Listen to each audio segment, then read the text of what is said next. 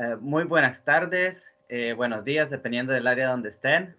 Eh, tenemos el verdadero placer de tener nuevamente acá a Mauricio Saeta con nosotros, que les recomiendo de nuevo al 100% este libro. Yo acabo de terminar de leerlo y qué bárbaro, Mauricio. Sí, qué, qué, qué libro que me llena, de, me llena un montón de esperanza y de ilusión de que viene un rescate y que pues depende de nosotros si formar parte de ese rescate o no. Eh, ¿Qué tal estás, Mauricio? Bien, Guillermo, un saludo para ti, para todos los que siguen tu canal, para todos los que escucharán este audio. Es para mí siempre una alegría hacer programas contigo y sobre todo transmitir un mensaje de esperanza, pero basada en lo más firme que tenemos, que es la palabra de Dios. Es lo más firme que hay. No podemos eh, basar nuestra esperanza en las noticias, en las promesas del mundo, en las promesas de los hombres, eh, y tampoco podemos dedicarle, es mi sugerencia siempre, no dedicarle tanto tiempo al WhatsApp, al Telegram y a las redes sociales porque la, la, verdad está en la Biblia y lo que va a pasar no va a ser anunciado en las redes sociales, lo que va a pasar está en la Biblia. Entonces mi sugerencia es más tiempo en la Biblia, al rezo diario de Santo Rosario, un rato, un tiempo diario de oración y más visitas al Santísimo. Y sí, sí, a mí me, alegra estos programas porque, eh, digamos, hay, muchos, em, por así decir, anunciadores de, de, catástrofes, de desgracias. Yo no niego, nunca he negado los juicios del Apocalipsis, los 21 juicios, ¿no? Siete eh, sellos, siete trompetas, siete copas. La pregunta es, ¿para quién eh, son esas malas noticias? Yo lo puedo resumir así aunque no es el tema de hoy, pero ya que me, en, el saludo lo, lo, resumo con gozo. Si una persona quiere que Cristo venga a reinar en su vida, en su corazón, en su alma, y también en su familia, en su urbanización, en su país, en el mundo entero, entonces espera con gozo el cumplimiento del Apocalipsis. Pero si una persona no quiere que Cristo reine en su mente, en su alma, en su vida, ni en su barrio, ni en su país, ni en el mundo entero, entonces el Apocalipsis es un libro de miedo, de espanto y de terror y no quiere que se cumpla lo que está profetizado en el Apocalipsis. Entonces fíjate qué interesante, es el, mismo libro es al mismo tiempo la mayor esperanza y gozo para algunos y el libro más atemorizante, terrorífico para otros. Entonces depende de cada uno de nosotros si vamos hacia el apocalipsis de gozo o hacia el apocalipsis de devastación. Sí, Sí, totalmente de acuerdo contigo, Mauricio. Y en el día de ahora vamos a estar hablando eh, sobre una devoción que está bastante mencionada en tu, en tu libro, que es la devoción a la preciosísima sangre de nuestro Señor Jesucristo. Pero antes de comenzar, sería bueno encomendarnos a nuestro Padre Celestial y a la Virgen Santísima. Eh, con una pequeña oración. In nomine Patris et Filii et Spiritus Sancti. Amén. Pater noster, qui es in celi, sanctificetur nomen regnum tuum, fiat voluntas tua sicut in cielo et in terra. Panem nostrum quotidianum da nobis odie, et dimite nobis debita nostra, sicut et nos dimitimus debitoribus nostris. Et ne nos inducas in tentationem. Se libranos a malo. Amén.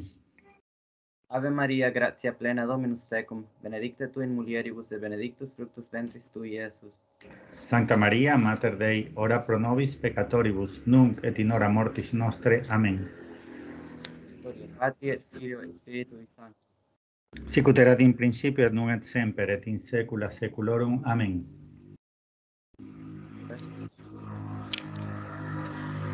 Ok, Mauricio, voy a comenzar a lanzarte los misiles y la primera pregunta es, ¿puedes explicarnos qué es la devoción a la preciosísima sangre de Cristo? Eh, en qué consiste, cómo se practica esta devoción. Bueno, la devoción es uno de los más grandes regalos que nos ha hecho Jesús. Obviamente el, el, más grande es su iglesia y los sacramentos y habernos dado a María como, como madre. No, no, no, no lo estoy poniendo en duda eso, pero específicamente es uno de los regalos más grandes de Jesús para el final de los últimos tiempos. Es decir, algo que Dios se tenía reservado para nosotros para el momento en que más lo íbamos a necesitar, que era el momento previo a la segunda venida, un tiempo de dura batalla espiritual, que es la gran batalla final que ya comenzó, y un tiempo de gran apostasía y un tiempo de tribulación y de durísima prueba donde se va a decidir el, destino final de todas las almas. Es decir, en esta batalla final el botín son las almas y es la última eh, periodo en el cual se tomará la, decisión final y definitiva de quién va la salvación eterna y quién va la condenación eterna. Para este periodo en particular, Jesucristo reservó la devoción a la preciosísima sangre, que no es una simple, una devoción más como tantas otras. Hay muchas en la iglesia y todas son buenas, pero esta es la primera, la principal y la más importante, reservada por decisión del mismo Jesús para ahora, porque sabía que la necesitábamos ahora. ¿Por qué la necesitábamos en este momento? Está predicho en el Catecismo, numeral 675, 676 y 677, que la iglesia tenía que pasar por los mismos pasos que su Señor. El Señor en su pasión pasó por una traición, él fue vendido, entregado a los enemigos, fue flagelado, coronado de espinas, fue condenado a muerte, cargó su cruz hasta el Calvario, donde fue despojado de sus vestiduras, fue crucificado y fue finalmente asesinado. Lo que dice el catecismo es que la iglesia tiene que pasar por todas esas mismas fases, por todas esas mismas etapas. Es decir, que la iglesia, y de hecho, eso no es futuro, el que tiene los ojos abiertos del alma se da cuenta que eso comenzó hace mucho. La iglesia ya fue traicionada por sus enemigos, ya fue entregada a sus enemigos, que hace dos mil años eran los romanos, ¿no? Los, judíos vendieron al Señor, lo entregaron a los romanos para que lo crucifiquen. En esta nueva pasión de la iglesia, que es la pasión del cuerpo místico de Cristo, eh, la iglesia fue vendida, traicionada y entregada a sus enemigos, que son la masonería, el protestantismo y el comunismo.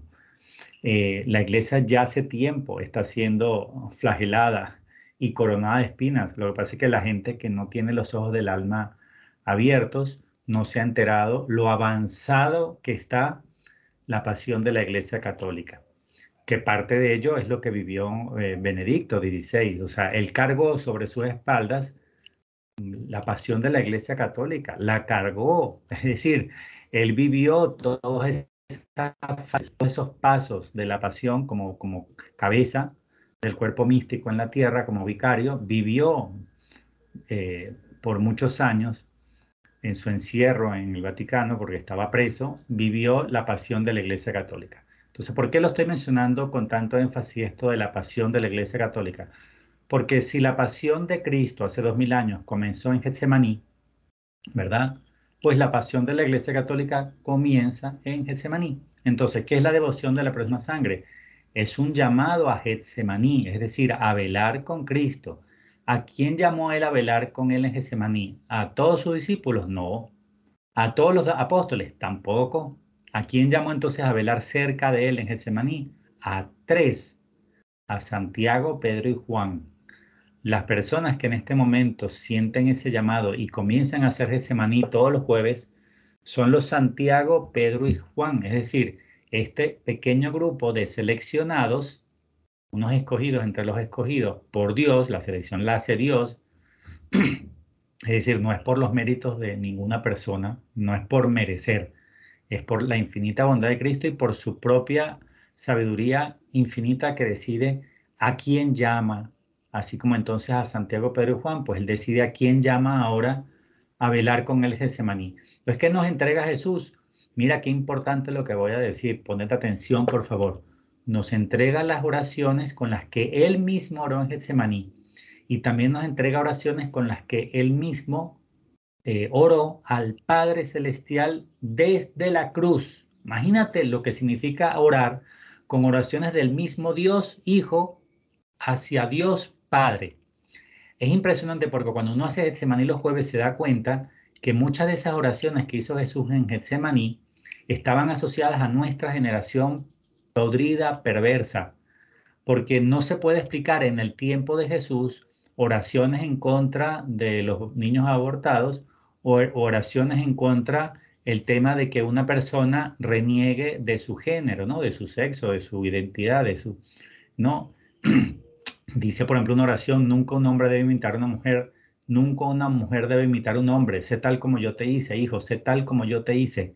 Esa oración no tendría ningún sentido en tiempo de Jesús, porque en tiempo de Jesús ningún hombre quería ser mujer ninguna mujer quería ser un, un, hombre. O sea que esa oración de Jesús de hace dos mil años era para nuestra generación, igual que tantas oraciones que tiene en contra del, aborto, ¿no? En contra de los niños. Es que en la época de Jesús no existía el aborto, Guillermo, no existía. Entonces, Jesús hizo esas oraciones en Getsemaní por dos generaciones, por la generación de él que le iba a matar, que iba a matar la cabeza, y por la nueva generación podrida y perversa del futuro que iba a volver a matar a Cristo, pero no Cristo cabeza, que no puede ser asesinado una segunda vez, sino que iba a asesinar a Cristo cuerpo místico, es decir, que iba a asesinar a la Iglesia Católica, que es lo que estamos viviendo nosotros.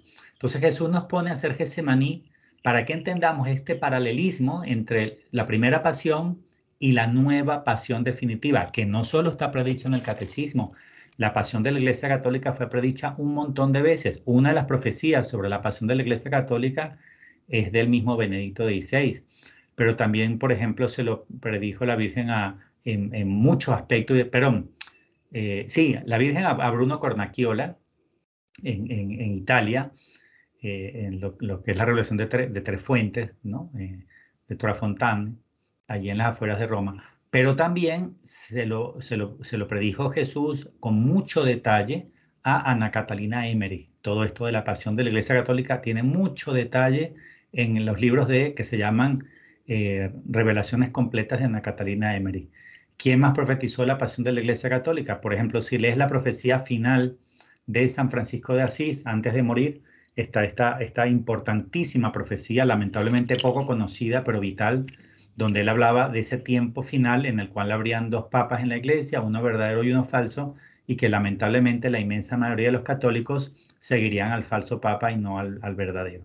Entonces la pasión de la iglesia católica, bueno, y, podría dar, eh, la verdad es que por lo menos unas 20 eh, místicos del pasado que profetizaron sobre el tiempo de la nueva pasión de Cristo, que es la pasión de la iglesia católica. Entonces, esa es la razón por la cual Jesús nos da eh, la devoción de la próxima sangre ahora, para que entendamos que ya estamos viviendo la pasión de la Iglesia Católica. Y hay una cosa importantísima que le dice Jesús a Bernabé en los mensajes. El, libro, el libro de mensajes este que yo ya te he mostrado, un libro bastante grueso, parece las guías telefónicas de antes, ¿no? De Gordo, eh, donde están todos los mensajes, la revelación completa. Y ahí le dice una cosa que por favor también pido pongan atención porque es muy importante.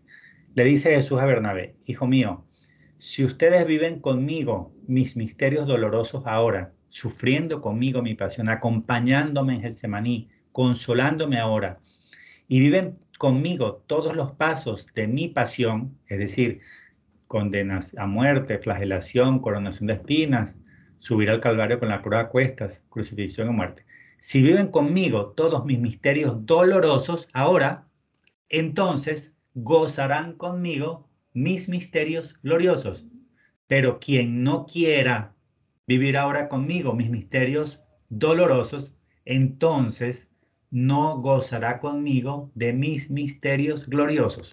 ¿Qué nos está diciendo Jesús en esa, en esa frase tan potente, tan poderosa?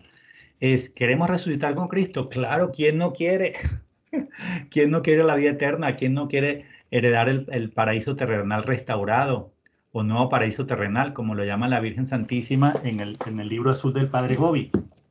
Ella llama así a la tierra después de la purificación de la segunda venida, nos habla del nuevo paraíso terrenal o paraíso terrenal restaurado. Y dice la Virgen que es más hermoso que el que perdimos con el pecado original.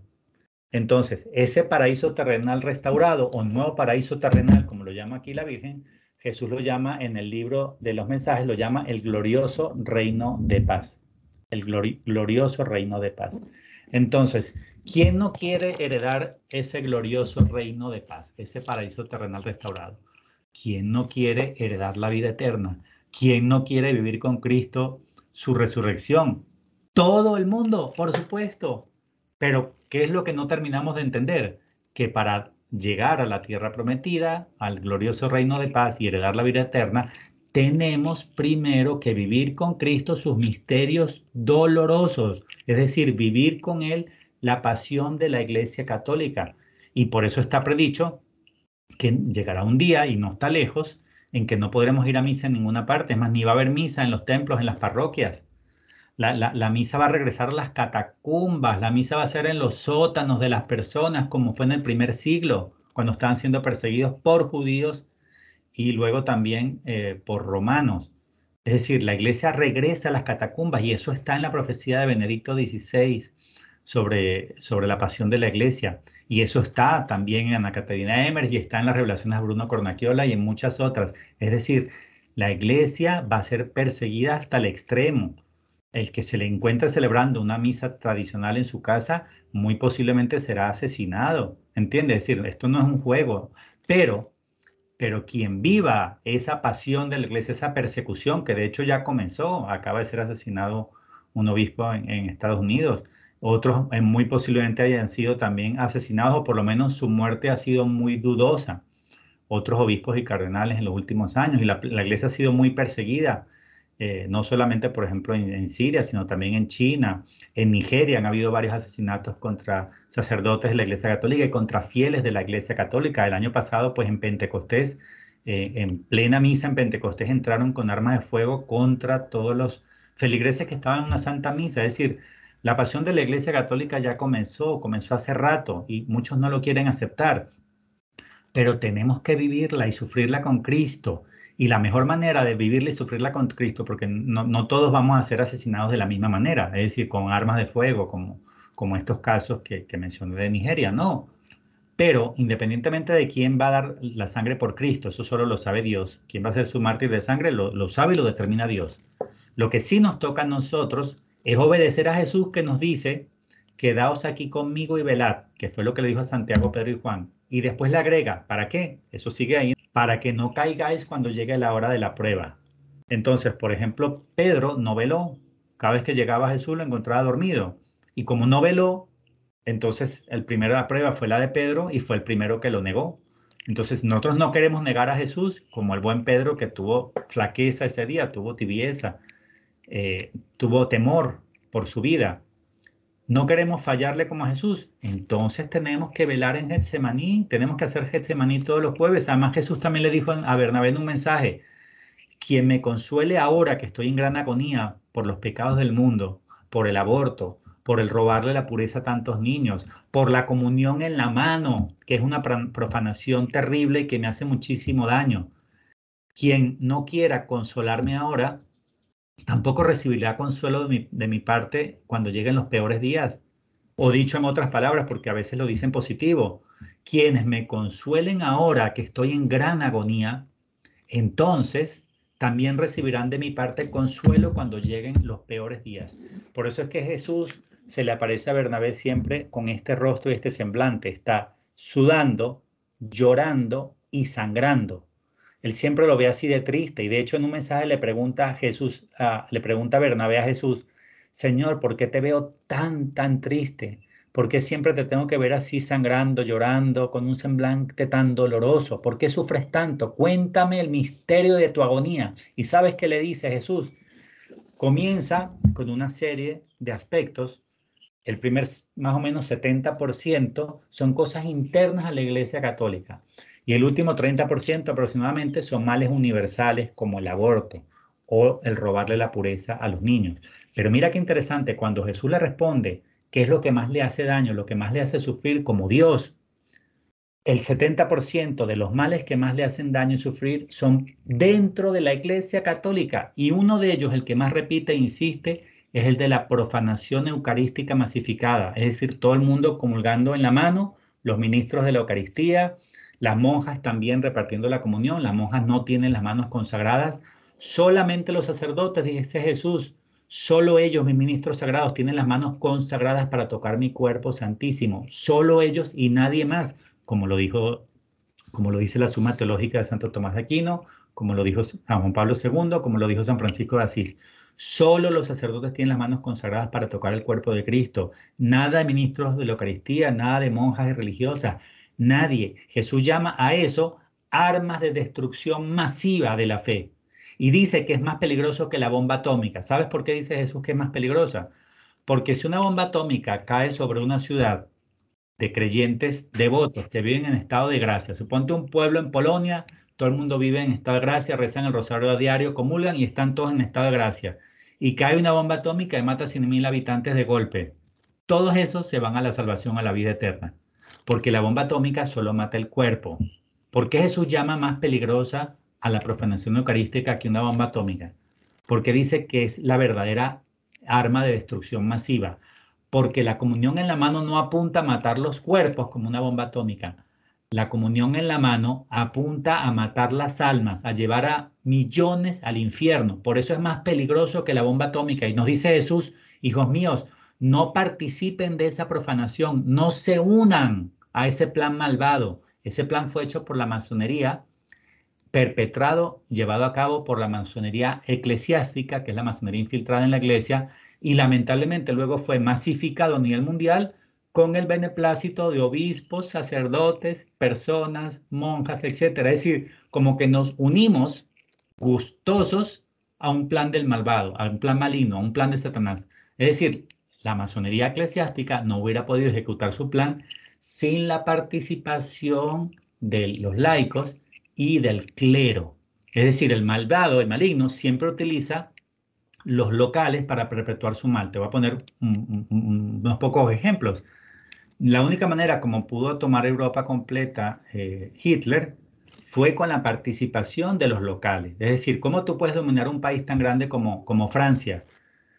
Y, a la vez, al mismo tiempo, todos los demás países que había tomado.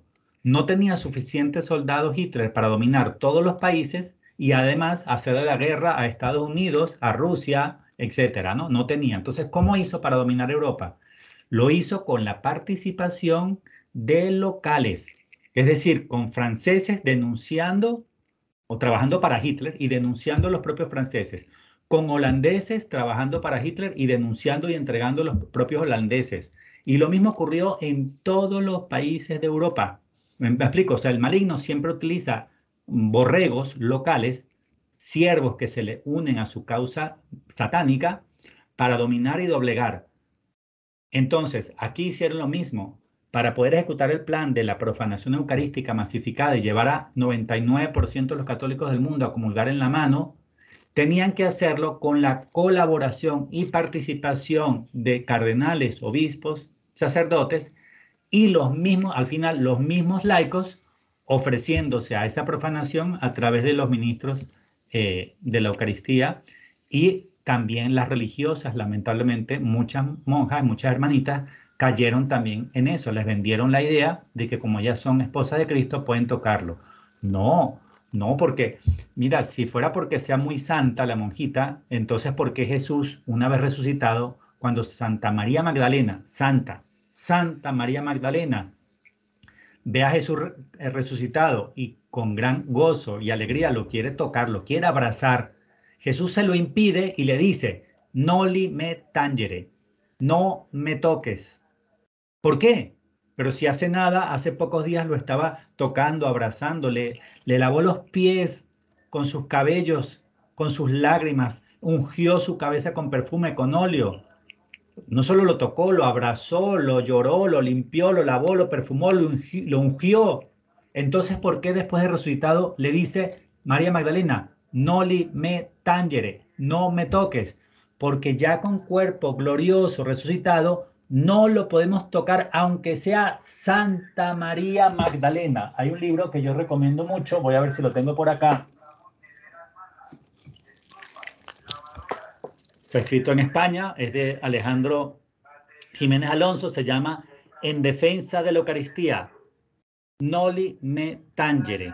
Es quizá el mejor libro que se ha escrito en defensa de la Eucaristía o uno de los mejores para denunciar todo este plan maligno de la masonería eclesiástica, de la profanación eucarística masificada y cómo llevar a millones de almas a este sacrilegio para que pierdan el respeto de la presencia real, para que pierdan el sentido y la fe de la presencia real y poder así hacerle un daño gravísimo a Cristo. Es decir, para llevar a los hombres a la nueva flagelación, como estábamos hablando al principio de tu pregunta de la flagelación de la iglesia, perdón, de la pasión de la iglesia católica, parte de la pasión fue la flagelación, ¿verdad? ¿Y cuál es la nueva flagelación de Cristo? La nueva flagelación de Cristo es que más del 99% de los católicos se convirtieron en verdugos, por lo menos de los católicos que van a misa, ¿no? Porque los, estoy hablando de los que van a misa, porque los que no van pues no comulgan. Pero más del 99% de los católicos que van a misa participan, aunque no lo sepan, de la flagelación de Cristo. Cristo ya resucitado, glorioso, como está en la Eucaristía, glorioso y resucitado, no podemos tocarle, ni porque sea Santa María Magdalena. Yo te puedo asegurar, Guillermo, ya con eso cierro la, la respuesta, para no alargarla mucho, que si el director espiritual, por ejemplo, de Santa Teresa de Ávila, le hubiera dicho, porque hubiera vivido en estos tiempos, con la imposición del Vaticano de que todo el mundo comulga en la mano. Si el director espiritual de Santa Teresa de Ávila le hubiera dicho, llegó la orden del Vaticano de que todo el mundo tenga comulgar en la mano, así que abra la mano y póngala ahí, que le voy a poner la hostia consagrada, sacratísima, el cuerpo de Cristo, se la voy a poner en la mano. Santa Teresa de Ávila, ¿sabes qué le hubiera dicho? Y estoy seguro a su director espiritual. Le hubiera dicho, Padrecito, yo sé que la obediencia es el centro de, de una carmelita, pero también sé, por la suma teológica de Santo Tomás de Aquino y por tantos consejos de santo y porque así lo establece el magisterio, que el límite de la obediencia es el pecado. Repito, el límite de la obediencia es el pecado. ¿La obediencia tiene un límite? Sí, el límite es el pecado. Si usted me está llamando a obedecerle cometiendo un sacrilegio, una profanación, entonces yo tengo, como, como cristiana, la potestad de decirle, Padrecito, no le puedo obedecer. Yo le puedo obedecer en cualquier cosa. Si usted me dice que me flagele hasta que me sangre la espalda, si usted me dice que me corte un brazo, lo que sea, lo voy a hacer. Pero si usted me dice, haga esto y eso me lleva a pecar, entonces yo ya no le puedo obedecer. Entonces, ella no hubiera comulgado en la mano, y siendo Santa Teresa de Ávila.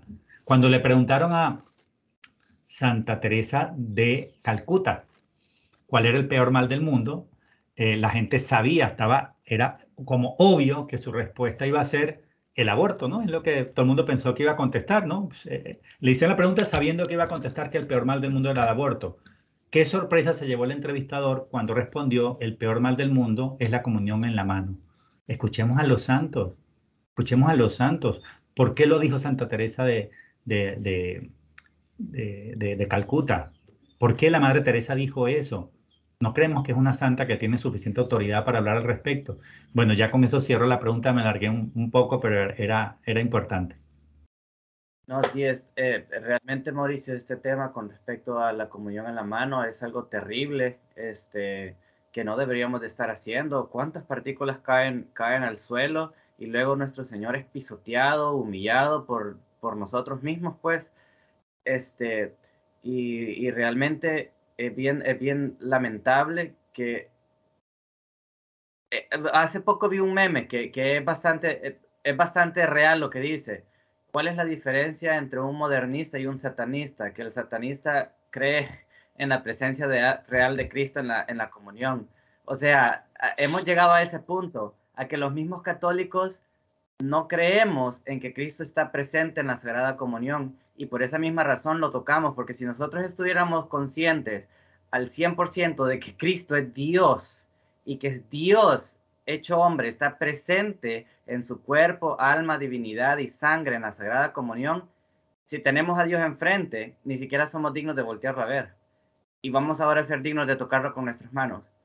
Eh, según tengo yo entendido, este, que fue el cardenal Bugnini, que era masón, el que, el que modificó el canon para que se pudiera eh, agregar esto de la comunión en la mano, porque antes de eso, según tengo yo entendido, no sé si estoy equivocado, era considerado en el canon de la iglesia como pecado mortal el tocar la, comunión con la mano. En el, este, eh, perdón que haga un, paréntesis, en el Código de Derecho Canónico vigente, el de hoy en día, dice que es un acto gravemente ilícito lo que estamos haciendo hoy en día. Pero esta es mi sugerencia. Yo te pido que hagamos la próxima semana, cuando puedas, un, un estudio, un video dedicado solamente a ese tema porque tiene mucha tela que cortar y hoy nos centremos en la devoción de la preciosísima sangre. Te pido ese favor porque es que el tema de la comunión en la mano da para más de una hora de, solo para ese tema. Sí, sí. Eh, disculpa, Mauricio. Este, bueno, ahora que, que, era la otra pregunta que yo tenía, porque normalmente las devociones tienen eh, algún tipo de promesa, ¿verdad? Entonces, esta devoción a la preciosísima sangre de, Cristo tiene algún tipo de promesas para las personas que la, que la practican, que, que son devotos a la devoción. Sí, la primera promesa, muchas, ¿no? Las primeras promesas salen del mismo evangelio, ¿no? Cuando le dice Jesús a Santiago, Pedro y Juan, quedaos aquí conmigo y velad para que no caigáis en tentación, para que no sucumbáis cuando llegue la hora de la prueba. Entonces, la primera promesa es que el que haga Getsemaní no va a negar a Cristo como lo hizo Pedro. No va a salir corriendo a esconderse como lo hizo Santiago. Esa es la primera promesa, es decir, que tendrá el valor de no negar, no traicionar y no darle la espalda a Cristo. Esa es la, primera de todas. La segunda también la dije antes. Jesús lo dijo muy claro, quien ahora eh, sufra y viva conmigo mis misterios dolorosos, entonces luego vivirá, gozará conmigo mis misterios gloriosos. Eh, ahora, hay unas promesas muy específicas. Eh, yo nunca hago mucho énfasis en ellas porque yo invito a la gente a hacer Gesemaní para adorar la sangre de Cristo y para consolarles Gesemaní. Y, y no, no, hago mucha publicidad de las promesas para que la gente no lo haga con la intención de solamente merecer las promesas o de... pero te voy a comentar algunas de ellas porque son impresionantes, ¿no? Una dice, eh, yo protegeré sus cinco sentidos, es decir, la persona que hace Getsemaní y que está consagrado a la sangre de Cristo, Dios protegerá sus cinco sentidos. Y yo te puedo dar testimonio de fe de que eso es verdad porque tengo eh, una amiga que estaba perdiendo la vista a tal velocidad que ya según los médicos no le iba a quedar más de un año de, para quedar completamente ciega. Y esta persona comenzó a hacer Getsemaní hace años y, y su, su degeneración visual fue detenida, detenida. Es decir, está igual de mal, por así decir, que cuando comenzó a hacer ese maní. Venía en decaída, en decaída que le quedaba un año de vista máximo. Decaída, se detuvo la degeneración y desde entonces ha estado completamente eh, estable. Es decir, dejó su proceso degenerativo visual. Em, pero hay otras muy interesantes también. Una dice, no podrá, ser, no podrá morir envenenado y no podrá ser muerto quemado, no podrá morir por el fuego. Imagínate qué impresionante. Es decir, una persona está en una ciudad sobre la que cae una bomba atómica, desaparece por el fuego de la ciudad y esa persona queda vivita y coleando, o sea, queda tranquilita como si no hubiera pasado nada. Y hay otra asociada a tiempo de guerra, dice, ningún soldado que rece estas oraciones antes de salir al campo de batalla, ninguna bala tendrá efecto sobre él. Imagínate qué promesa tan porosa. Claro, es un contexto particularmente bélico, ¿no? O sea, porque ya está hablando de, de, balas, ¿no? Pero bueno, imagínate no poder morir envenenado. Suponte que tú estás en una eh, comunidad, ¿no? En, de los últimos tiempos, en, en el campo, y, y, los malvados para envenenarte a ti, a tu comunidad, le echan ahí un veneno fuerte a, la quebrada, ¿no? Que surte tu, tu, finca, por, por decir algo, ¿no? Le echan ahí un veneno potente y los que viven en esa comunidad haciendo Getsemaní, conservar la sangre de Cristo, beben esa agua contaminada y no se mueren, pero se mueren todos los demás, ¿no?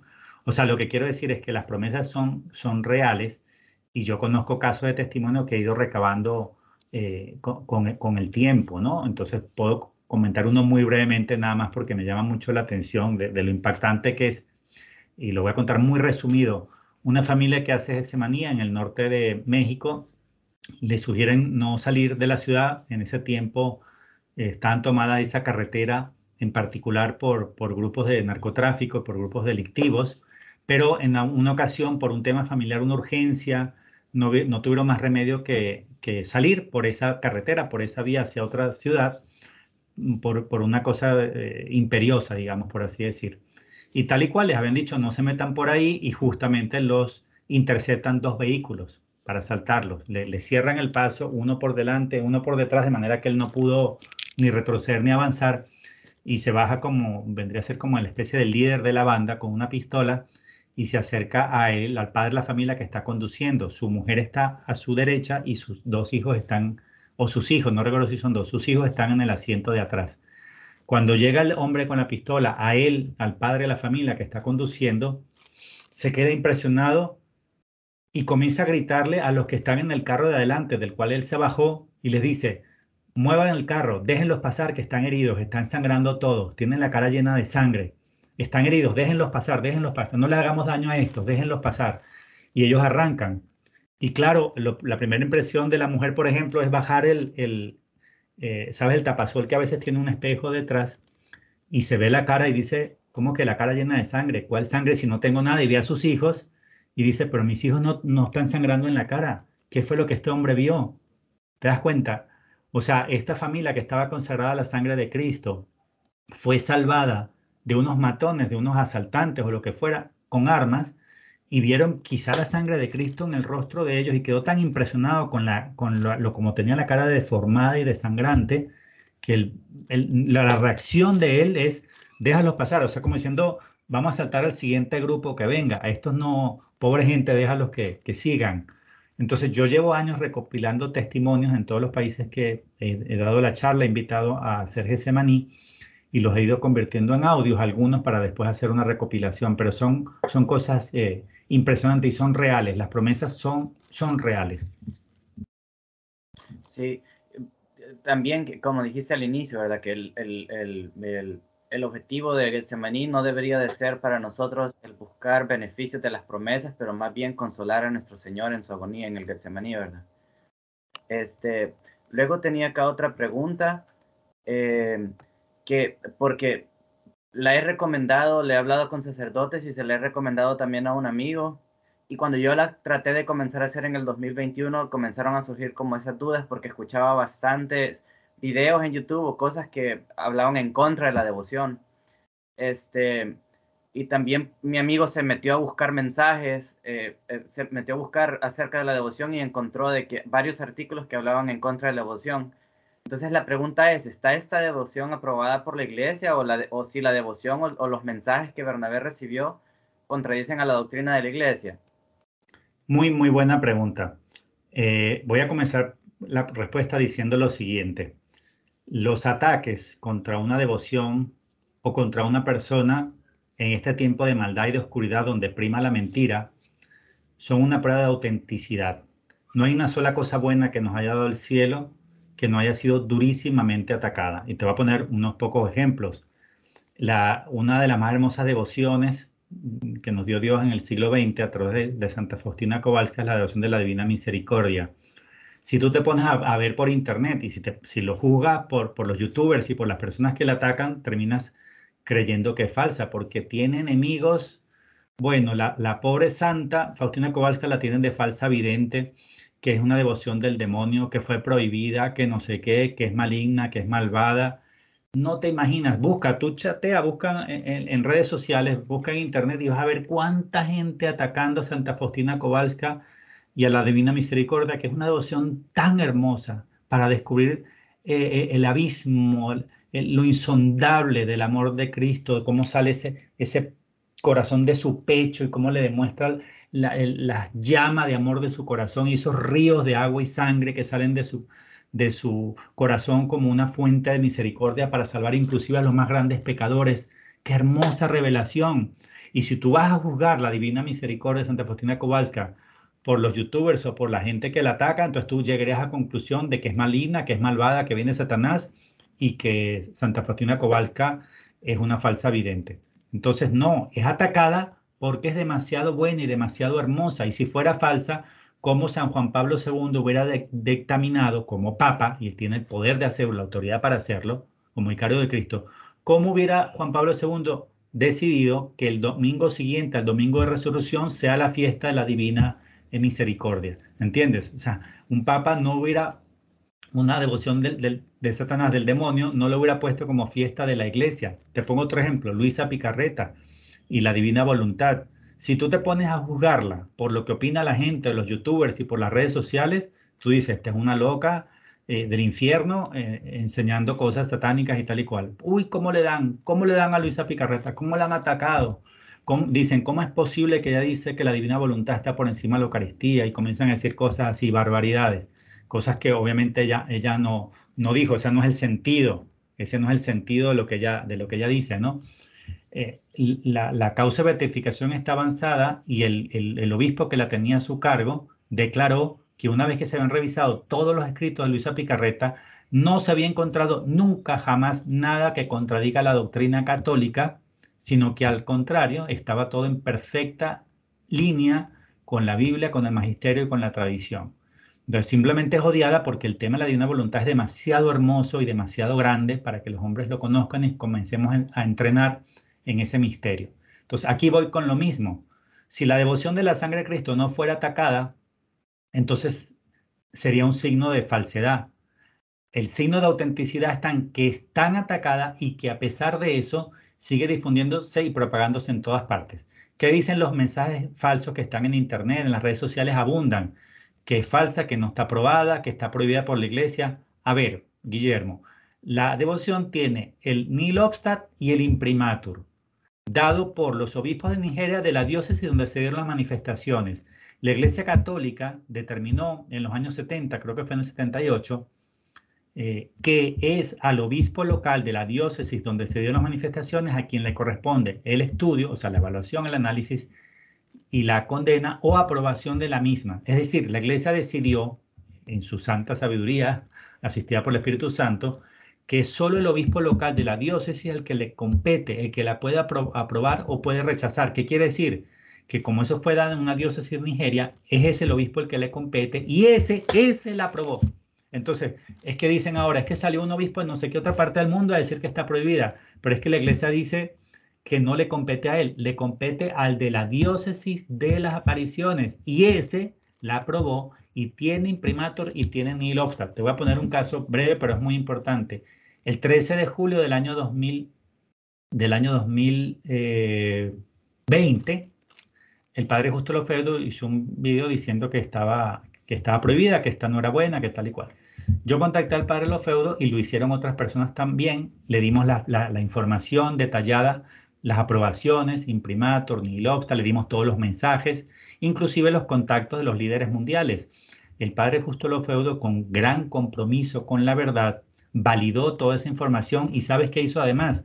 Se puso en contacto con los líderes mundiales allá en Nigeria y después de que confirmó y validó todo, sacó un segundo video menos de dos semanas después, en el mismo mes de julio del año 2020, rectificando la posición de que sí estaba aprobada.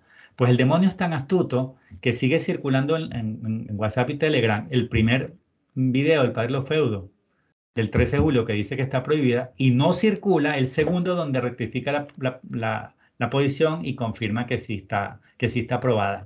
Entonces, está aprobada y no solo está aprobada por la iglesia, tiene el imprimatur, sino que además contó, cuenta con la bendición de San Juan Pablo II. Es decir, eh, Jesús le había dicho a Bernabé que le mandaran al Papa Juan Pablo II todos los mensajes del crucifijo agonizante, que es este que ven aquí, este que ven aquí atrás, que también, también en, la, en la insignia está, normalmente en la parte de atrás también está el crucifijo agonizante. Este crucifijo agonizante, que es el que se ve allá atrás, se le envió a Juan Pablo II junto con todos los mensajes de la devoción y él le dio su bendición. Además, para, para obtenerse la aprobación que se dio en Nigeria, se nombró como, como se establece en la Iglesia Católica, como debe ser, una comisión de evaluación que por varios años leyó todos los mensajes y determinó que no había absolutamente nada que contradijera la doctrina católica en ningún aspecto. Solo después de esa evaluación que duró varios años es que se pudo dar el nil obstat y el imprimatur. Es decir, que está totalmente aprobada. Entonces, ¿por qué salir a creerle a estos youtubers que dicen que es una devoción del demonio, igual que Santa Faustina Kowalska, la Divina Misericordia, o igual que la Divina Voluntad Luisa Picarreta? No, es que es muy sencillo. Mientras más buena es una devoción, más almas salva y más ayuda a acercarse a la luz y a la verdad, más ataques sufre. Sí, Sí, eh, yo por eso eh, le quería hacer esa pregunta porque he escuchado a bastantes personas. Entonces, ya ahora que usted nos lo aclara, pues la gente ya tiene esta información y ya puede, si dicen, ay, pero Mauricio Zeta no es sacerdote, bueno, entonces pueden ir a buscar el, el video del Padre Justo a los Feudos y, y, ya pues comenzar a hacer la devoción, porque qué más lindo que, que, consolar a nuestro Señor en el Getsemaní, pues obvio, el demonio no quiere eso, el demonio no quiere eso, ¿ya? Este, acá le, tenía este, otra pregunta que era... Qué importante, Perdón, qué importante eso que acabas de decir. Qué inconsistencia los que dicen que es una devoción del demonio. Pensar que el mismo Satanás pondría a las personas a consolar a Jesús en ese maní y adorar su preciosa sangre. Mira, acabas de darme el clavo, Guillermo. El único que no quiere que los hombres adoren la sangre de Cristo, que es el precio de nuestra redención, y el único que no quiere que los hombres consuelen a Jesús, que está sufriendo tanto por el aborto, por quitarle la pureza a los niños, por el incremento de la maldad y de la iniquidad en el mundo. O sea, es que no hemos comprendido que Jesús realmente está en agonía. O sea, no hemos entendido un Cristo sufriente, que el que más sufre por todos los pecados del mundo es Él.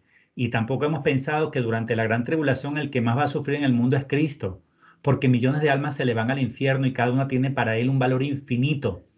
Entonces lo que no hemos entendido es que Cristo está sufriendo más que nunca y nos está llamando a consolarle y a adorar a su preciosa sangre. El único que no quiere que consolemos a Jesucristo agonizante y el único que no quiere que adoremos su preciosa sangre es Satanás. Así que sería ilógico, impensable que Satanás estuviera invitándonos a consolar a Jesús y adorar a su preciosa sangre. Eso, ¿a quién se le puede ocurrir? ¿En qué cabeza cabe eso? Cierro paréntesis, pase por favor a la siguiente pregunta.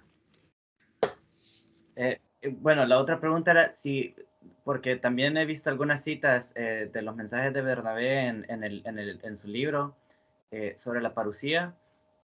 Mi pregunta es si recibió Bernabé algún tipo de mensaje que se le pueda considerar así como un mensaje que, profético, un mensaje de profecía. Sí, en, en, mi libro coloco un par de ellos, creo que los que yo, dos que yo consideré más relevantes.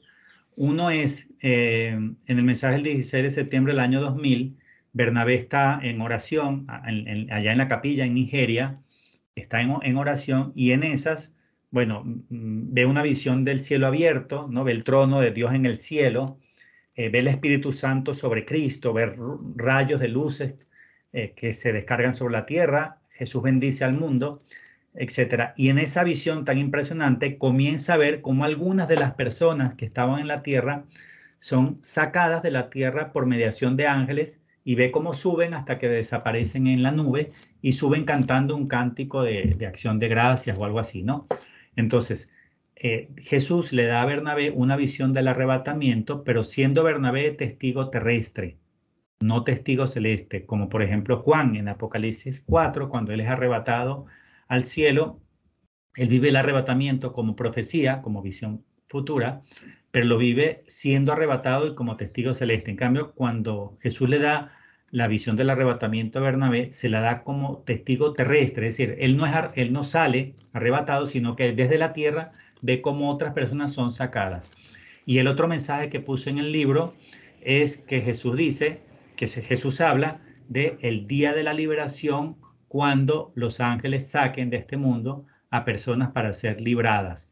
Ese, de hecho, mensaje de, Bernabé eh, inspiró parte del, título de mi libro. Fíjate que el libro se llama Parucía, el Día de la Liberación. El Día de la Liberación llama a Jesús al Día de la Parucía en uno de los mensajes a, Bernabé. También, Mauricio, que em, eh, escuché, lo escuché usted en una entrevista, ahorita que hablaba de la pasión de Cristo, solo agregar también que el cardenal Sara dijo hace uno o dos años, no, hace como dos o tres años que la iglesia estaba pasando por, por el jueves santo. Eh, y usted en una de las entrevistas que escuché sobre la devoción dijo de que Jesús le decía a Bernabé que el 90% de los católicos o algo así le iba a, le iba a traicionar durante su, su pasión, ¿verdad? Eh, sí, eh, aclaro primero lo, que dijiste con respecto al libro del, del cardenal Sara. El libro se llama Pasa el día, llega la tarde haciendo alusión al suceso de los discípulos de Maús, ¿no? Que se estaba oscureciendo le dicen a, a este hombre que todavía no habían reconocido como Jesús, le dice, quédate con nosotros a cenar porque ya es tarde, ¿no? Entonces, con esa cita de Maús, pasa el día, llega la tarde, llega la noche, eh, puso como título este libro el cardenal Sara, y en ese libro él dice que ya comenzó la pasión de la Iglesia Católica y dice, en ese momento cuando escribió el libro, dice, ya estamos viviendo el Viernes Santo, no dice el jueves, dice, ya estamos viviendo el Viernes Santo.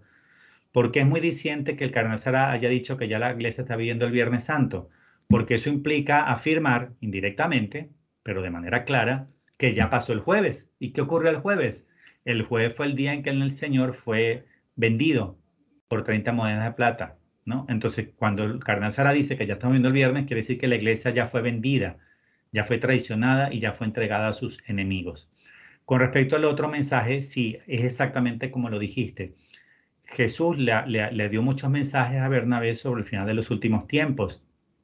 Y la, digamos, el signo más claro de, los últimos tiempos era, así lo dice Jesús, cuando el hombre malvado haya triunfado en posicionarse en el puesto más alto de mi iglesia. Ese era el signo clave, así se lo dijo, se lo reveló varias veces a Bernabé, cuando el hombre maligno haya triunfado en posicionarse en el puesto más alto de mi iglesia. Fíjate que no lo dice en condicional. En condicional sería como decir si logra el objetivo. No, lo dice como profecía, como una afirmación, cuando haya triunfado en posicionarse. Entonces, ese era el momento del, final de los últimos tiempos, cuando la masonería tomara el vértice de la iglesia, lo cual ocurrió eh, en el año 2013, cuando subió al pontificado el cardenal Jorge Mario Bergoglio. Pero también le dijo Jesús que en estos tiempos, al final de los últimos tiempos, en esta etapa final, dice, el 90% de mis hijos estarán espiritualmente ciegos. Y dice, cuando dice de mis hijos, se refiere a los bautizados, o sea, no está hablando de la humanidad. Si hablamos de la humanidad, seguro es más del 99.99%. Cuando él dice el 99% de mis hijos estarán espiritualmente ciegos, se refiere a los bautizados, porque solo somos hijos de Dios por el bautismo. Eso lo dice la doctrina católica, por favor, no dudar de ello, porque el que dude de ello está poniendo en duda la doctrina católica. Cuando Jesús habla de mis hijos, se refiere a los bautizados. Entonces, si el 90% de los bautizados estará espiritualmente ciego, significa que más del 90% de los católicos no iban a reconocer al falso profeta, no iban a reconocer que la masonería tomó el vértice de la iglesia. Por eso es que la mayor parte de los católicos del mundo siguen a Francisco y siguen pensando que es papa porque están espiritualmente ciegos y hay que orar mucho por ellos. Yo nunca me refiero a los que no han abierto los ojos de manera despectiva eh, y yo no creo que hay que referirse despectivamente a nadie. Yo creo que más bien hay que, por la vía del enamoramiento, llevar luz a nuestros hermanos y a los sacerdotes que no han abierto los ojos, por la vida de enamorarles, por la vida de incentivarles, por la vía cariñosa, no como hacen algunos, que es por la vía de atacarlos estas personas que llaman a los otros bergoglianos y que a los sacerdotes que celebran misas una con Bergoglio los llaman herejes, son herejes, herejes, atacar, atacar, insultar. No, por la vía del insulto y de atacar a los demás, no se lleva nada de la luz y no se lleva nada de la verdad. Jesús no vino aquí a imponer, siendo Dios, y él no lo hizo ni por la vía de los insultos ni por la vía de atacar. Jesús trajo el Evangelio y la luz al mundo invitando a la gente a la conversión, invitando a la gente a escuchar el Evangelio por la vía de la caridad, por la vía del amor. Nosotros estamos llamados a hacer lo mismo. Nosotros no estamos llamados ni a insultar, ni a criticar, ni a llamar hereje a todos los que no han abierto los ojos, que lamentablemente muchos han caído en eso, en ese pecado de soberbia. Nosotros estamos llamados a reparar por los que no han abierto los ojos, a reparar por los que no están defendiendo a Cristo, a orar por su conversión y salvación y a invitarlos amorosamente a abrir los ojos en caridad, en respeto, en prudencia y sobre la ley del amor.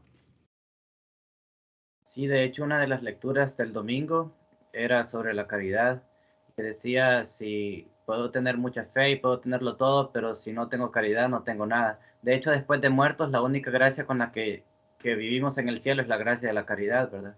Este, y esa debe de ser nuestra motivación, la caridad. Y seremos medidos en el amor, seremos pesados en el amor. El amor es la medida con la cual una persona se salva, se condena o se va al purgatorio por cientos o miles de años. Seremos medidos en el amor. Entonces nosotros no estamos llamados ni a criticar, ni a, ni a insultar, ni a odiar, porque hay muchas personas que, que están en la iglesia remanente que saben que Bergoglio es un destructor, un enemigo, ¿verdad? Pero en lugar de portarse como buenos cristianos, incentivan el odio contra aquellos que no han abierto los ojos y que siguen teniendo a Bergoglio como papa. Es que incendiar el odio en los corazones de las personas no te lleva a la salvación. Es más, ni siquiera ayuda a solucionar el problema. Ayuda a solucionar por la vía de la caridad llegarle a tu hermano y decir, oiga, dése cuenta que Francisco está destruyendo la fe, la, religión, la iglesia, está atacando la misa, está haciendo daño. Por favor, abre los ojos, orar por esa persona, reparar, hacer ayunos y penitencia, pero por la vía de la caridad. Sí. Excelente, Mauricio, muchas gracias. Y tenía acá, bueno, una pregunta, pero ya nos dio sobre los testimonios. Este, entonces, eh, la última pregunta que realmente podría agregar, que sería, que ya vendría siendo un poco personal, es que ¿cómo descubriste tú la devoción y qué es lo que te motiva a continuar practicándola? A mí me habían regalado la, devoción, es decir, el libro de oraciones, un resumen de qué iba la devoción, el rosario rojo, el de las doce cuentas, que es el rosario de, de, la próxima sangre, que a diferencia del de la Virgen, no solo es rojo, sino que cada segmento o sección tiene 12 en lugar de 10. Entonces a mí me habían regalado este rosario, las oraciones y, el librito con el resumen de los mensajes y yo lo tenía guardado en, mi gaveta. Yo vivía en, Perú, en Lima. Y bueno, un día, mm, pues no sé, dije, vamos a, a revisar esto, ¿de qué va? No, en un momento de tristeza, de soledad, dije, bueno, vamos a leer esto que tengo aquí guardado en mi, en mi gaveta. Y cuando comencé a leer, quedé tan impactado, tan, tan impresionado, porque yo no podía creer lo que estaba leyendo. o sea, sí lo podía creer. Quiero decir, se me hacía demasiado impactante, por ejemplo, entender que Jesús, en lugar de estar como yo lo pensaba, allá en la gloria, a la derecha del Padre, feliz, ¿no? Viviendo su, el esplendor de su gloria en gozo, entender que, que Jesús está padeciendo horrores, llorando, sudando y sangrando hoy por los pecados de la, humanidad y que se, le apareció a Bernabé la primera vez en julio del año 97, eh, 1997, se le, se le apareció con ese rostro sangrando, sufriendo. Imagínate tú ver, ver, verle la cara a Jesús, pero así, tan triste, tan sufriente, y lo único que le dijo es, Bernabé, consuélame, adora mi preciosísima sangre. Eso fue lo único que le dijo en el primer mensaje. Y después no le, no le volvió a dar mensaje hasta un año y medio después. O sea, lo dejó 18 meses solamente meditando en lo que significa comprender el sufrimiento de Cristo. Meditar en un Cristo que llora, suda, sufre, que está roto de dolor su corazón hoy y que nos mendiga amor y consuelo. Yo, yo no podía entender eso. Y decía, pero ¿cómo puede ser si el mendigo soy yo? Nosotros somos los mendigos, que le pedimos todo a Dios como mendigos, como enfermos, como pobres de espíritu. Pero que Dios me mendigue a mi amor y consuelo. no, no, es que para mí era tan impactante que fue como un caerme del caballo. Fue un flechazo también, la devoción un, llamado de Jesús a, velar con él en Getsemaní, a orar con él. O sea, un abrir los ojos a los últimos tiempos, un abrir los ojos de que llegó la pasión de la Iglesia Católica y que Jesús, así como le pidió a Santiago, Pedro y Juan hace dos mil años, quedaos aquí conmigo, cerca de mí, conmigo. Ustedes, los elegidos dentro de los elegidos, quédense aquí conmigo y velen y recen. Cuando yo leí ese primer libro esa noche, Jesús me estaba llamando a mí igual como a Santiago, Pedro y Juan. Deja lo que estás haciendo, Mauricio. Estás perdiendo el tiempo. Estás tragado por el mundo. No te das cuenta que estás encima del final de los últimos tiempos y que no estás haciendo lo correcto. Vela conmigo en y sufre conmigo mi pasión. O sea, la devoción fue para mí algo absolutamente transformador, transformó mi vida, cambió el rumbo de mi vida. Eso significó mi conversión, mi entrega. Dejé de trabajar en Hewlett Packard me consagré a la Virgen, me, comencé a dedicar solamente por el reino, por la difusión de la, de la devoción de la próxima sangre para, y para anunciar la proximidad de la parucía, para que la gente se prepare. O sea, esta devoción significó el cambio de mi rumbo de vida 180 grados. Yo iba para allá y después de conocer esta devoción comencé a caminar hacia allá.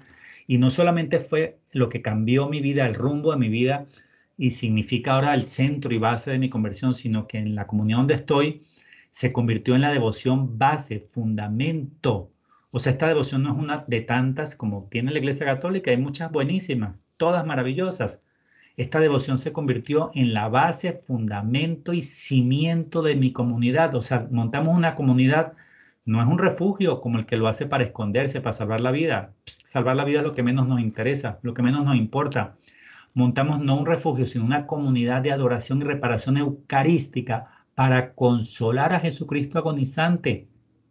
Es decir, para responder al llamado de Jesús de, hijo, consuélame, consuélame que estoy en agonía. No se lo hizo a Bernabé ese llamado, me lo hizo a mí, te lo hizo a ti, ¿entiendes? O sea, consuélame. que estoy en gran agonía por los pecados del mundo. Montamos una comunidad para consolarle. O sea, esta devoción se convirtió en el centro de mi vida y en el centro de la vida de mi comunidad. Y cuánto le doy gracias a Dios por este gran regalo. Gran, devoción es un enorme regalo que nos lleva además, y ya con eso cierro porque no quiero que se haga muy larga la, la, entrevista. El que quiera más detalle entra a mi página web www.yalleganuestraliberación.com y puede ver un video detallado que se llama En el Monte Sion habrá supervivencia, que es el mismo libro de este, el mismo título de este devocionario. Y en este devocionario van a poder ver un hombre que tiene adentro la Eucaristía. Jesús nos explica en la devoción el misterio del templo vivo o del sagrario vivo en nuestras almas. Es lo que está representado en esta imagen. ¿Qué es eso? Dios hizo al hombre para que fuera su sagrario. Jesús le explica a Bernabé en un mensaje que los sagrarios hechos por el hombre de piedra, de metal, de madera, son temporales, son tabernáculos temporales. Van a dejar de existir. Llegará el día en que no van a haber más sagrarios hechos por mano humana. ¿Tú sabes cuál es el único sagrario eterno que construyó Dios? El ser humano. Imagínate, estamos llamados, Guillermo, a tan alta dignidad que solo la comprenderemos pidiendo la ayuda al Espíritu Santo. Dios creó al hombre para ser su sagrario andante su sagrario vivo. A eso nos lleva la devoción, a convertirnos en sagrarios vivos de Dios. Por eso entren en mi página web, vean el, el estudio que se llama En el Monte Sión habrá supervivencia, porque ahí se explica mejor el misterio del sagrario vivo o del, del, templo vivo de nuestras almas, donde la hostia llega a mantenerse sin consumirse en el sistema digestivo, es decir, lleva, a preservarse las especies sacramentales no en el estómago, sino en el corazón de las personas. ¿Quién ha vivido eso? En el video yo lo explico, la primera persona que vivió eso fue la Santísima Virgen María y eso se lo contó con mucho detalle a su sierva, a una mujer que se llama Sor María de Jesús de Ágreda. En el libro Mística, Ciudad de Dios, la Virgen le explica a esta monja cómo ella vivió el misterio del sagrario vivo en su alma.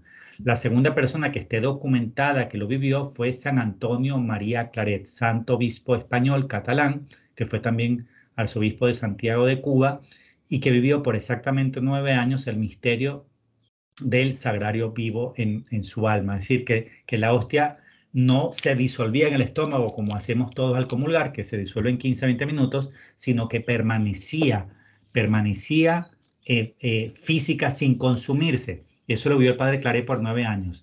Y la tercera persona que está ahora en proceso de investigación, pero que presumiblemente también vivió ese mismo misterio del padre Claret, es un sacerdote claretiano que ya falleció, el padre Aloysius, eh, cuya causa de beatificación está en curso. En la descripción del vídeo pondré el enlace donde pueden ver esto. Pues el padre Aloysius, aparentemente o presuntamente, vivió lo mismo que el, su fundador, el padre Claret, porque el padre Aloysius es claretiano vivió también el misterio del sagrario vivo en nuestras almas. Entonces, la devoción nos lleva a eso, o sea, con Getsemaní, con la consagración a la sangre de Cristo y con permanecer fieles a la devoción, Jesús nos dice que va construyendo poco a poco un sagrario vivo en las almas de sus devotos. ¿A qué velocidad? Pues según la disponibilidad, disposición y amor de cada quien. En unos lo hará más rápido, en otros lo hará más lento, según la fidelidad de cada uno, pero nos lleva en esa dirección a construir un sagrario vivo, ¿Tú te imaginas que el hombre va a ser inmensa, infinita y plenamente feliz por toda la eternidad solamente si logra ese objetivo para el cual Dios la creó, esa máxima dignidad del ser humano y ese templo de Dios. ¿Quién es el templo de Dios? Pues la Santísima Virgen María, obviamente. Ella es el templo de Dios por excelencia. Pero es que a ejemplo de María y teniendo María como molde, como imagen como modelo, todos los seres humanos estamos llamados a ser templo de Dios. Y eso es tan importante que eso es más importante que ninguna otra cosa, que cualquier otra cosa. Es decir, cualquier otra cosa que leamos en las redes sociales, lo que sea, desde 5G, conflicto de Ucrania o lo que sea, cualquier cosa. Y no lo digo con soberbia, lo digo con humildad. Lo digo por, por, por entender este misterio con la ayuda del Espíritu Santo. Cualquier cosa que leamos en las noticias o en las redes sociales es menos importante que este misterio revelado por Jesús a Bernabé, y es construir un sagrario en sus devotos, en sus hijos, están llamados todos, no unos, no algunos católicos, están llamados todos los católicos, todos los hombres están llamados a ser templo de Dios, sagrario vivo. Lo que pasa es que la mayor parte de los hombres no quieren, no les interesa y no les importa. Pero no es que Jesús llame a algunos, esto no es una secta, esto no es un, eh, un privilegio de pocos. Dios llama a todos los hombres porque Dios creó a todos los hombres para esa dignidad. ¿Me sigues? Dios creó a todo hombre, a todo hombre para ser un templo de Dios a imagen de la Santísima Virgen María. Si pocos hombres llegan a tan alta dignidad es porque no se interesaron, no quisieron. El primer paso es ofrecerse. El primer paso, el paso uno es, Señor, yo quiero ser tu sagrario. Llévame en esa dirección. Por eso invito a que se hagan devotos, a que profundicen en este misterio para que cada uno alcance esa dignidad tan alta, ese objetivo máximo al cual Dios creó al hombre y es ser su sagrario por toda la eternidad. Mauricio, qué excelente programa. Eh, gracias por tu tiempo realmente. Ya no me quedan más preguntas que hacerte. Este, cualquier hermano que quiera eh, meterse más eh, con respecto a esta devoción o investigar más, voy a dejar el link de tu canal, con tu permiso, y de mi en la página descripción para que ellos puedan ir y, y, y, ver tu canal y, escribirte de alguna manera, ¿verdad? Sí, pero no Este, solo mi ah, canal, sobre todo mi página web, porque en mi página web tienes mucha más información. Hay una sección entera dedicada a la sangre de Cristo, a la próxima sangre, y porque en esa sección hay cosas que se pueden descargar. Los mensajes de Bernabé se descargan gratuitos. Un artículo que escribí en defensa de la devoción se descarga gratuito. Los 10 cantos de Getsemaní se, descargan gratuito. El devocionario para hacer Getsemaní se descarga gratuito. Y hay un Getsemaní grabado completo de cuatro horas. O sea, es mejor mi página web porque hay una sección entera dedicada solamente a la devoción de la sangre de Cristo. Ok, entonces agregaremos tu página web en el link y muchísimas gracias por tu tiempo, Mauricio. ¿Hay, hay alguna otra cosa que te gustaría agregar como conclusión? En uno o dos minutos. Sí, hay dos cosas que debemos hacer eh, como mínimas para prepararnos como, para lo que viene. Eh, eh, porque todo esto se trata de la obediencia. En Egipto se salvaron los obedientes. Los obedientes son los que marcaron las casas con la sangre del cordero y comieron la Pascua según las instrucciones que le dio Dios al pueblo a través de Moisés y fueron liberados por obedecer. ¿Quién se va a salvar ahora en lo que viene? Igualito, el obediente. ¿Y en qué consiste la obediencia? O sea, ¿qué es lo principal que tenemos que obedecer? Pues además de, los mandamientos y de todo lo que la iglesia nos ha enseñado en dos mil años, lo puntual, particular y específico que tenemos que obedecer en los últimos tiempos son dos cosas. La consagración al Inmaculado Corazón de María, pedida por el cielo desde 1917 en Fátima, lo cual incluye, por supuesto, el rezo diario del Santo Rosario. Es decir, la primera obediencia, aparte de la obediencia, es consagrarse al Inmaculado Corazón de María y el rezo diario del Santo Rosario. Y la segunda, la segunda es consagrarse a la preciosísima sangre de Cristo y hacer Getsemaní todos los jueves. El que haga esas dos cosas y se lo tome en serio, se va a salvar. Va a llegar a la tierra prometida, que Jesús la llama el glorioso reino de paz. El que haga esas dos cosas va a ser protegido por, por el manto de María, por el Inmaculado de María, y va a ser protegido por la preciosa sangre de Cristo. Entonces, ¿quién se va a salvar? Igual que en el Éxodo, en Egipto, el obediente, el que haga estas dos cosas. Obviamente, yo no estoy diciendo sin hacer las demás cosas. Yo no estoy diciendo que sin cumplir los mandamientos. Por eso dije primero, quien haga lo que ha establecido la iglesia en su magisterio, la base es cumplir los mandamientos. Y quien obedezca estas dos cosas, se va a salvar, porque Jesús y María no van a permitir que se pierda un consagrado al Inmaculado Corazón de María y un consagrado a la preciosa sangre de Cristo. El que haga estas dos cosas, aunque pase por momentos de dificultad, va a ser liberado, rescatado, salvado y va a heredar la tierra prometida. Con eso me despido, muy agradecido por este programa tan bonito, tan especial, tan interesante. Ánimo a consagrarse a la sangre de Cristo, ánimo a consagrarse al Inmaculado Corazón de María, a ser obedientes y nos vemos en el reino, nos vemos en el glorioso reino de paz. Amén. Saludos desde Medellín, Colombia para todos. Saludos, Mauricio, y que viva Cristo Rey.